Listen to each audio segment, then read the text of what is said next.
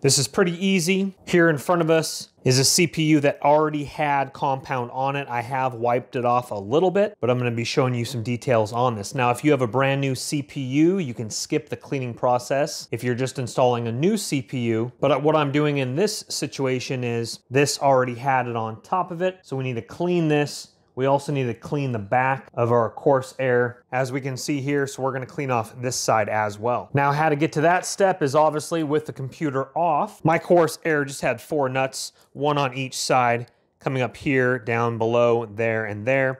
Go ahead and unscrew those lefty-loosey. And then the Corsair just slipped right off and go ahead and just put that off to the side there. I already took one stick of RAM out. Just make sure it's not damaging anything else. All right, so the first thing you're gonna need is you're gonna need a napkin. A paper towel will work as well. And we'll work our way up to the isopropyl alcohol, which I use for this. But right now we're just gonna use a dry napkin. And like I said, I've already cleaned off some of it just so I could read the numbers below. But what you're gonna do here is you're just gonna go around it and clean off as much as you can getting it on the napkin there before we start getting into the interior portion with our Q-tips.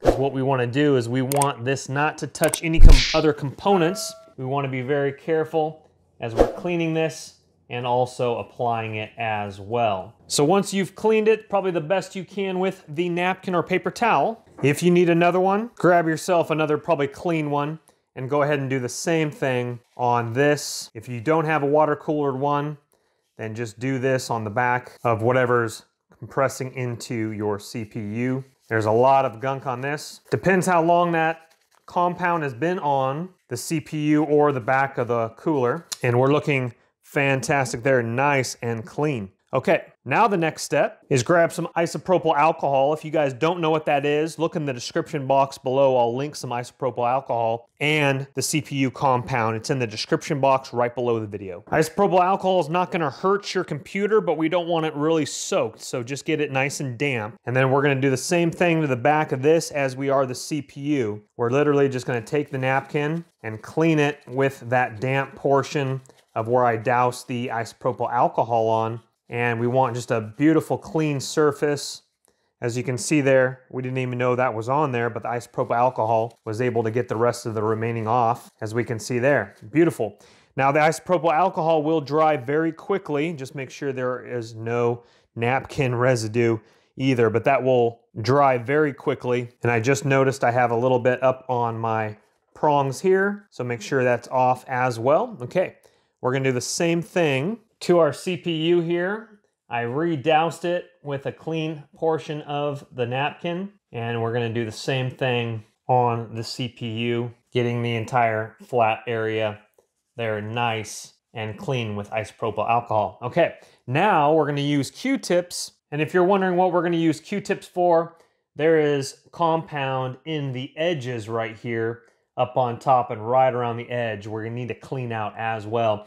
First thing we're gonna do is we're just gonna go ahead and use it dry, getting the big chunks out, as we can see there, right on the tip there, and then turning it around to the clean side. And you can use a couple Q-tips. Q-tips are pretty cheap these days. I'll do the same thing over here on this side and on the bottom here, and just watch it. Make sure no big chunks go down below. And then what we're gonna do now with the big, big chunks out of the way is I like to put the isopropyl alcohol inside the cap and then we don't want it soaked.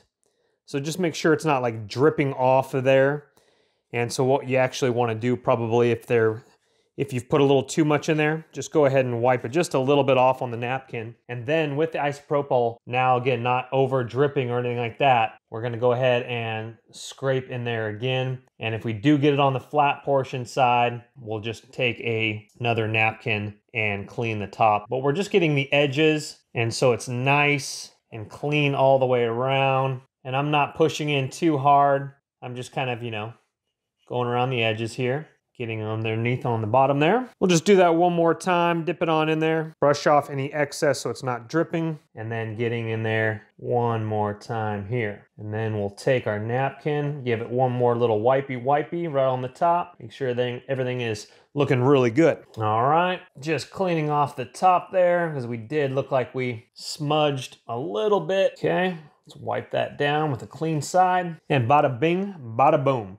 That is a clean CPU. Now you're saying to yourself, Chris, what do we do now? That's a great question. I'm gonna answer that right now. This is just leftover compound I did have, but I do recommend Arctic compound. I'll have that linked in the description box below as well. I just couldn't find my other one, but I have this stick here. And so what we're gonna do is we're gonna apply the thermal compound and we're gonna go ahead and put on about the size of a small pea. Uh, another way to look at it here is probably this capacitor, maybe the size of that right in the middle. We don't want to do too much because we don't want it flowing over the edges. We just want to go ahead and put a nice dab in and I recommend doing it slow and putting it right in the middle there. That looks pretty good right there. Maybe I'll add a little bit more over to this side. Okay, that looks pretty good right there. Not quite dead center, but it's pretty center. A little hard with the camera right in front of my uh, line of sight. All right, now what we're gonna do, now that this side is clean,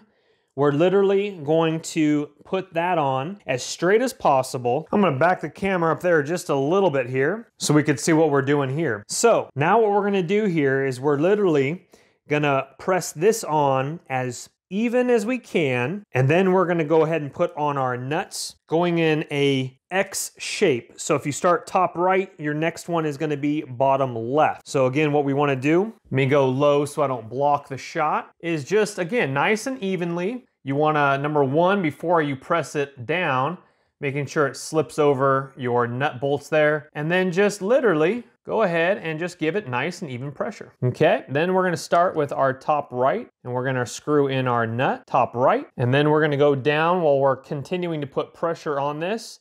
If you have to, go ahead and release it. I, am still putting pressure in with my middle finger, and then we're gonna go ahead and go bottom left now, okay?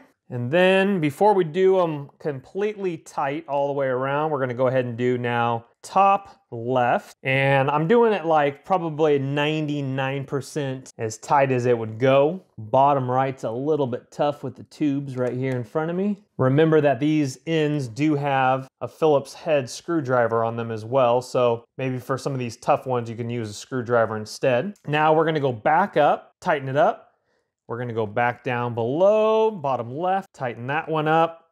There we go.